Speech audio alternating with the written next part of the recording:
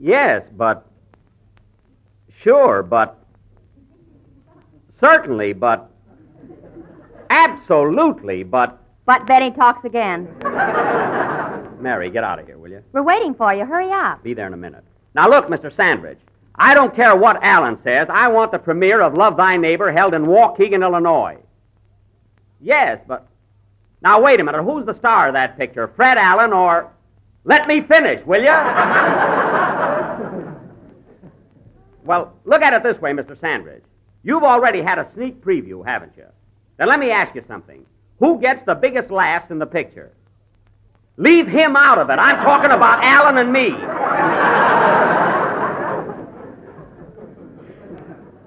oh. Well, I don't want to use pressure, Mr. Sandrich, but if you don't see things my way, I may get a new director for my next picture. What? Well, now hold. Now hold. Now hold. Now hold on, Mr. Sanders.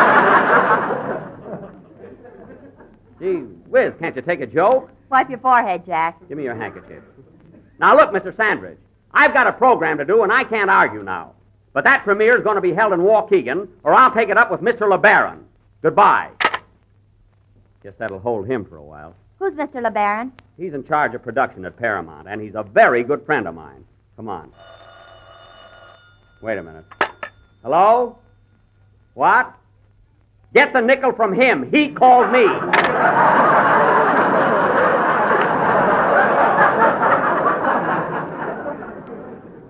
Come on. Come on, Mary, let's go. Oh, don't get so upset about everything. I'm not upset. Who's upset? Hello, Mr. Benny. Hello, hello. How's your program today? How do I know? Tune in and find out.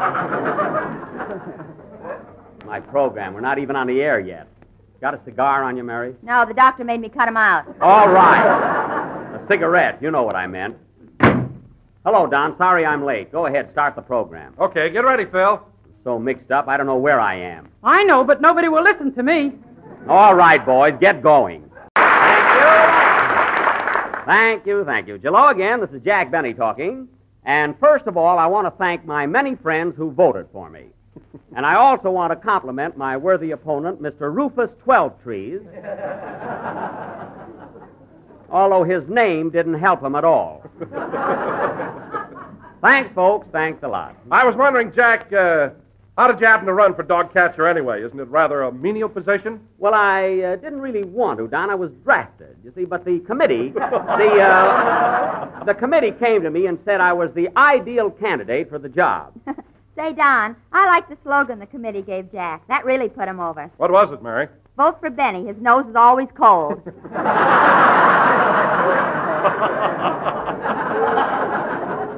That wasn't it at all. My slogan was, if you love your chow or poodle, vote for Jack, the Yankee Doodle. of course, I got the uh, Pomeranian vote, too. Well, then you should be very happy about your new office, Jack. Oh, I would be, Don, but right now I'm having a lot of trouble with Paramount again. Also, Mary was telling us.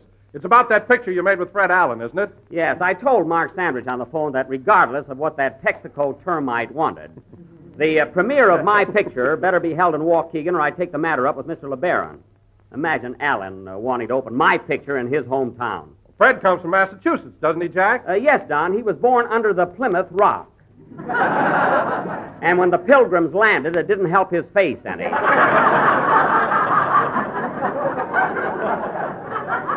Not a bit. Say, Jackson, did you hear Allen's program last Wednesday? I had to, Phil. I was over to some friend's house, and they were trying to break the lease. Their furniture was on the sidewalk before Allen got a laugh. What a program. And the way he's wasting that Kenny Baker. I wish you'd waste me like that. Dennis! and let me tell you another thing, fellas. I don't like to say this, but Allen's humor is nothing short of puerile and banal. there he goes again with puerile and banal. Say, Jackson, I meant to straighten you out on that. You've been pronouncing them words all wrong. What do you mean? Well, I found out in night school that the correct pronunciation is puerile and banal. Oh, it is. That's what the hostess says. The hostess? You know, the dame at the head of the class. That's the teacher. the hostess. Phil, if you're paying tuition at that night school, you ought to get your diploma and your money back at the same time. I'm doing all right. You know, fellas, I took up hygiene last week. Hygiene. Yeah, you know, don't wait till Saturday night. If you want a bath, take it anytime. I see. Well, I don't want to run you down, Phil, but I bet you can't even spell hygiene. ah, yes, I can. well, go ahead. I can spell it. I can spell it. Well, what's stopping you? He left his blocks home. That's a good one, Mary. All right, you wise guys, I'll show you I can spell hygiene. Give me a chord, Frankie. A cord?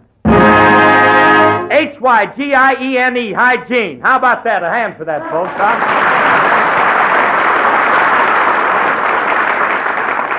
Well, I got to give you credit, Phil. That's a tough word, and you spelled it. No kidding. That was some feat. F E E T, feet.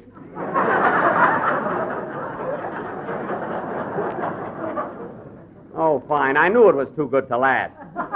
Phil, when I said that was some feat, I meant F E A T. Oh. F E E T is feet like I've got. Nobody's got feet like you've got. Well, Miss Livingston, that did it. There goes your Christmas present. There goes your Christmas present right out the window. You're doing your Christmas fighting early this year, ain't you, kid? Yes, keep it up. Keep it up, Mary. Now you won't get anything next year either. I'm off the list till 1960. 61. I'm not forgetting that cute little trick you pulled with your baton this afternoon. Say, Dennis. Merry Christmas, Mr. Benny. Hmm. Uh, Dennis, don't you think it's about time? Answer the phone, Mary. Okay. Uh, Dennis, don't you think it's about time? for- Hello? Yes? Put him on, please. It's for you, Jack. Mr. LeBaron at Paramount. Holy smoke! Mark Sanders must have got in touch with him. You want to talk to him? Certainly, but uh, but make off you're my secretary. A little front won't hurt any. you know. Okay. Hello? Yeah, yes? Yeah, yes? Yeah. Uh, this is Mr. Benny's secretary. Well, he's frightfully busy right now. He's broadcasting. Mary, don't overdo it. You want me to spell hygiene for him? Get away from there. Uh, very well, Mr. LeBaron. I'll ask him. Give me that phone. Hello, hello, Mr. LeBaron. Yes. Yes, I did tell Mark Sanders that I want the premiere held in Waukegan. I know, Mr. LeBaron. I know you're the production head, but I'm entitled to first consideration. If there's any B.O. in that picture, it's me. I mean box office. yes. Yes, I understand that. Sure, but. Sure, but. Sure, but. What flavor, please? Quiet. Now, look, Mr. LeBaron, let me review this situation. You better sing, Dennis. It looks like a long winter. Okay. Now, Mr. LeBaron, Allen wants the premiere in his hometown, and I want it in mine. Now, the way I look at it, I've been under contract to Paramount for over five years. And I. Sure, but. But, Mr. LeBaron, we've got to have the premiere in my hometown. I've already told Bidey Talcott. Who is he? Only the mayor of Waukegan. Where have you been? Take it easy, Jack. Well, now, look, Mr. LeBaron, we're not getting anywhere, so I'll take the matter up with Mr. Freeman. Goodbye. More trouble over nothing at all. Say, Jack, who's Mr. Freeman? Uh, Frank Freeman, he's the big shot at Paramount, and he's a very fine Southern gentleman. Oh, he comes from the South, huh? Yes, his home is in Georgia. Why don't you let me talk to him, Jackson? We speak the same language. Phil, Mr. Freeman is a Southerner, not a hillbilly. so uh, I'll do the talking. Oh, I suppose I'm a hillbilly. Well, Phil, all I know is when you came to work for me five years ago, I brought you in a shoe store to buy you a pair of shoes, and it took three men to hold you down.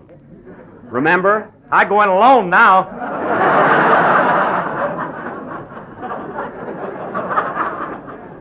That's good. And uh, while we're on the uh, subject of your attire, Phil, that sport coat you're wearing is a little snug around the knees.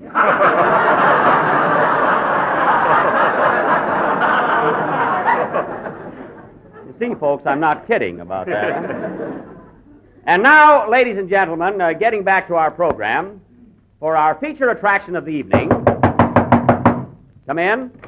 Mr. Benny, Yes? is it true that you were just elected dog catcher of Beverly Hills? Yes. Well, you'll Never never, catch catch, me. me. Arf, arf.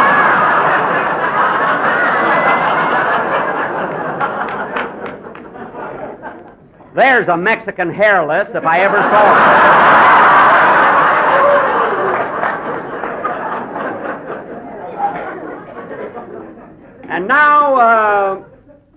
And now, ladies and gentlemen, for our feature attraction of the evening, the Benny Anything from Shakespeare to Gin Rummy players will present an original mystery melodrama entitled Murder at the Soda Fountain or Hold That Malted. Now, I will play the part of a young soda jerk, Tutti Frutti Benny. And Mary, you're the cashier who is madly in love with me. Hooray. Hmm. Now, Dennis, you're a college student who is always hanging around the drugstore wisecracking. Oh, boy, at last some dialogue. Uh, no, Dennis, no. You see, as our play opens, you enter the drugstore, a shot is heard, and you fall to the floor. Dead. Well, can I wisecrack on the way down? No. Now, Don, uh, you're going to be a box of jello, so you'll have to crawl up on the shelf. What flavor am I?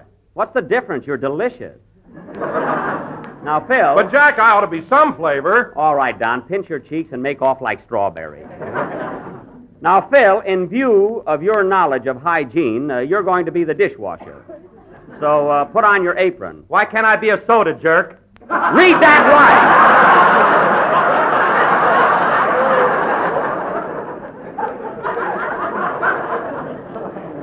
Was no comma there.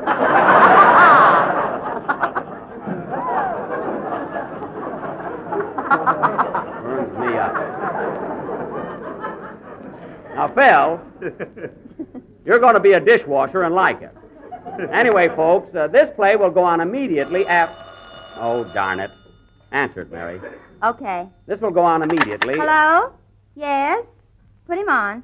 It's Mr. Frank Freeman, Jack. Oh, well, tell him you're my secretary. You know, like before. Okay. Hello? Hello, Mr. Freeman. Hi, y'all. Mary. Well, Mr. Benny's powerful busy right now. Can I take the message, honey lamb? Mary, give me that phone. Fine way to talk to the head of the Paramount. Hello, hello, Mr. Freeman. This is Jack Benny. Yes? Yes? Sure enough? I mean, sure enough? Well, now, Mr. Freeman, I'll leave it to you. Where do you think the premiere of Love Thy Neighbor should be held? Greenville, Georgia? Whoever heard of that bird? Oh, that's your hometown. Oh, sure. Oh, oh, oh, oh, oh. Oh, oh, oh, oh, sure, Greenville. Yes, I. Oh, yeah, I, I, I remember. I used to. Uh, oh, I used to uh, play there in vaudeville yes, sir, Greenville. Boy, are you an apple polisher. Well, look, Mr. Polisher, uh, Mr. Freeman. Darn you, Mary. Look, uh, this whole thing is getting so complicated. Suppose I come to the studio and we'll talk it over. Yes, I can be there in a few minutes. Jack, we got a play to do. Who cares? I'll be right over, Mr. Freeman. Goodbye. Come on, Mary. I want you to go along with me to Paramount. Rochester got the car outside. But, Jack, what about the murder mystery? We can do that next week. But you announced it already. All right. Dennis walks in the drugstore. Bang, bang. He falls to the floor. Mary screams. Ah! Who did it? Was it me? No. Was it Mary? No. Was it Don? No. Phil gets hysterical. I did it. I did it. Police come. Yeah! There's your play. Come on, Mary. Let's go.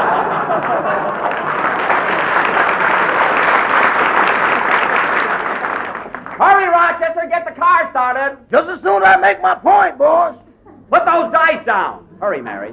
Doggone, it was just beginning to thaw out.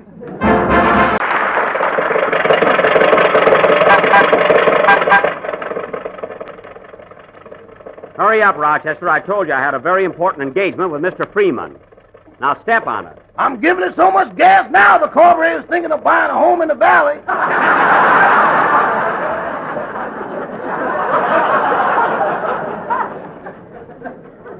Just keep that throttle wide open, that's all. Say, Jack, What? we're going the wrong way to Paramount, aren't we? Let's see. Oh, yes. Rochester, what's the matter with you? You were supposed to turn to your right here on Gower Street. I turned the steering wheel. Something ought to happen any minute now. What? well, we made it. On two wheels yet. Rochester, you took that corner much too sharp. Boss, we got to take them any way we can get them. Well, you threw me all over the back seat. Are you all right, Mary? Yeah. Say, Jack, What? you sure were neutral in the election, weren't you? What do you mean? Look at those three stickers on your windshield. Never mind. Root for Vo- Roosevelt, win with Willkie, and bark with Benny. What was that first one you I started? don't know. Root for vaudeville?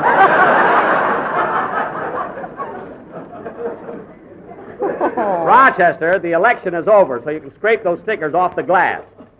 And by the way, I'm making you a deputy dog catcher. Why don't you make me a dog? I work like one. Too bad about you. Gee, Mary, I hope Mr. Freeman waits for me. I want to get to that uh, premier matter settled. I brought your samples along, Jack. What samples? The Christmas cards. You might as well kill two birds with one stone. Oh, I won't have time for that. Say, Mary, I ought to stop at a drive-in stand and get Mr. Freeman an order of fried chicken. Fried chicken, what for? Well, he's from the South, isn't he? I can tell him I cooked it myself. yeah, I got to do something to get in good with Paramount. Why don't you tear up your contract? Mary. You just don't realize how important. Well, I'll be darned. Oh, Rochester, Yes, boys. you went through a red light. Let's keep it a secret. Watch your driving.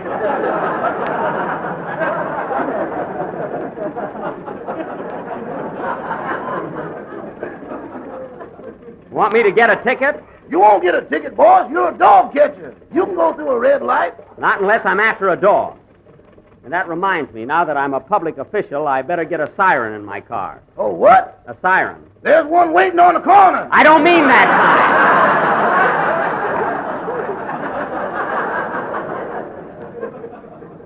Talking about a horn.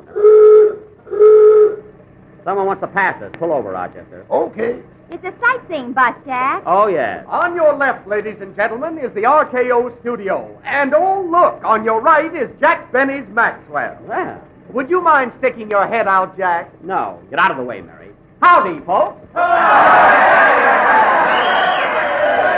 Thank you, thank you. Say, you know, Mary, that was kind of a thrill. People from all over the country on that bus. Too bad you didn't pass out some autographed pictures. Yeah, darn it, I should have had him with me. See, I feel awful about that. Here's a gun. Blow your brains out. Now, Mary, remember what I told you a few minutes ago. You keep making those cracks, and that Christmas present will really be off. And if you remember, Miss Livingston, I hand out some pretty nice gifts. Uh-huh. Well, I do. Uh-huh. What are you a hon about, Rochester? Last Christmas, I gave you a beautiful leather wallet to keep your money in. Yeah, I wish you'd give me another one just like it. What do you want two wallets for? I can put heels on them and use them for shoes.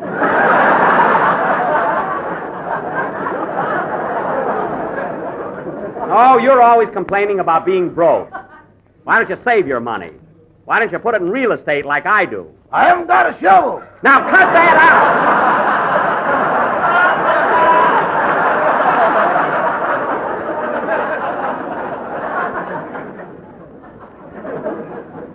Rochester, if you're insinuating that I buried. Rochester, pull over at the curb. There's a dog without a license. Quick, Mary, hand me that net and my cat. Oh, Jack, don't bother about this dog. It's out of your territory. That's right. Well, they can't say I wasn't on the job, though. Hey, Rochester, here's Paramount Studio. Pull up in front of the main entrance and wait for me. Okay. Wait here, Rochester. Come on, Mary. Bring the fried chicken for Mr. Freeman. You didn't buy it. Oh, yeah. I'll tell him I gave it to a poor old lady. Do you think Mr. Freeman will be waiting, Jack? Sure, I told him I was coming over as soon as I could possibly find. Whose car's that? I don't know. Well, come on. Hey, wait a minute. Isn't that Mr. Freeman in the back seat? Where? Yeah, that's him. Hey, Mr. Freeman! Start the car, Rochester. Catch that Cadillac. Catch that Cadillac. Oh, come now.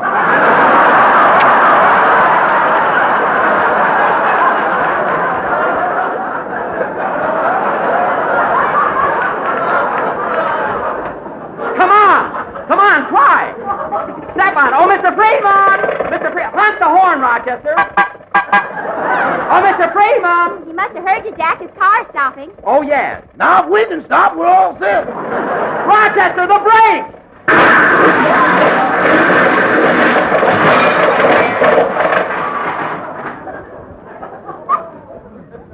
Oh, my goodness, we hit Mr. Freeman's car. Yep, there goes the premier. Darn you, Rochester. Here he comes, Jack. He looks mad. Yeah. Well, I'll straighten it out. now, look, Mr. Freeman, here's exactly what happened.